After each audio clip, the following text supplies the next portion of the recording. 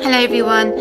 A quick message regarding the return of the Lord Jesus. There are still many people today who believe that we're not going to be here to see the Antichrist anyway, so why do we talk about it? I'm concerned for those people and I'm going to share the scripture to them, hoping that they will listen to please listen to the word of God and what it says. In the book of Second Thessalonians chapter 2 it reads, Now brethren, concerning the coming of our Lord Jesus Christ and our gathering together to him, we ask you not to be soon shaken in mind or troubled, either by spirit or by word or by letter, as if from us, as though the day of Christ had come, the day of Christ, our gathering together to be with him. Let no one deceive you by any means. That day will not come unless the falling away or apostasy in the Greek comes first, and the man of sin is revealed, the son of perdition, who we call the Antichrist. He's going to be revealed first. Then the Lord's return comes for us after. Now, I know people have twisted that even into insert in there a different interpretation, saying that there's two comings. One is a secret being caught away, and the second is his physically open public appearance. It's wrong, friends. What is the plain reading of that scripture telling us?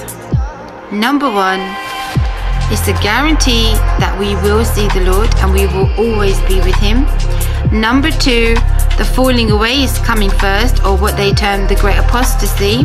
And number three, we're going to be witnesses to the appearance of the Antichrist, the son of perdition, the lawless one. We're going to be here to see it. We are the people that he comes to make war against.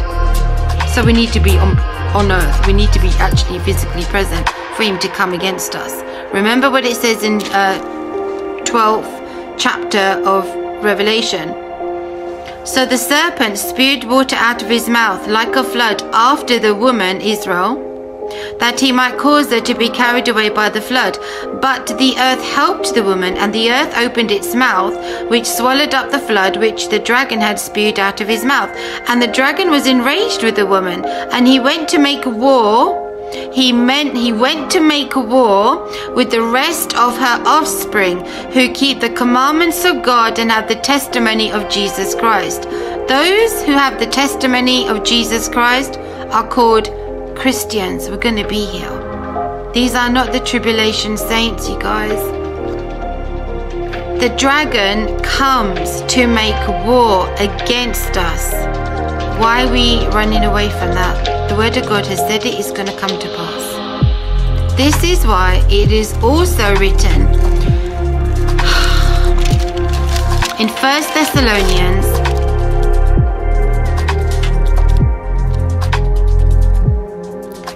chapter 5. This is why Paul wrote this.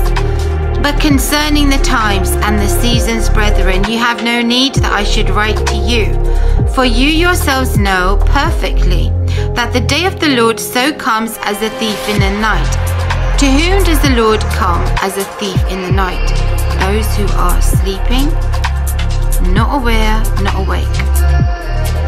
For when they say peace and safety, then sudden destruction comes upon them as labor pains upon a pregnant woman, and they shall not escape. But you, brethren, are not in darkness, so that this day, this day of the Lord, should overtake you as a thief. You are all sons of light and sons of the day. We are not of the night, nor of darkness. Therefore, let us not sleep as others do, but let us watch and be sober. Others are asleep, although they keep saying that they're awoke. This is a great deception, friends. I'm sorry to say that. You are being deceived when you are not prepared for the return of the Lord Jesus. You are being deceived when you are not prepared Antichrist, son of perdition, is going to be revealed, who comes to make war against us. You are not prepared. You are asleep in your slumber. You have been deceived. The word of God is so clear. I pray that you will listen to this message, go to those scriptures and pray and fast over it that's what it's going to take. there are ministries that they're still teaching this that we're going to get caught away before the Antichrist shows up, and it's not true. I hate to tell you, it's not true. Share this and let it get out to those who are still in the dark, who are still asleep, who are still in their slumber. Please, this is really important. Time is of the essence. When things are getting crazy in the Middle East surrounding Jerusalem, we know that the days are getting darker and time is short. So I appreciate your help in me getting this message out. Please share it. Thank you.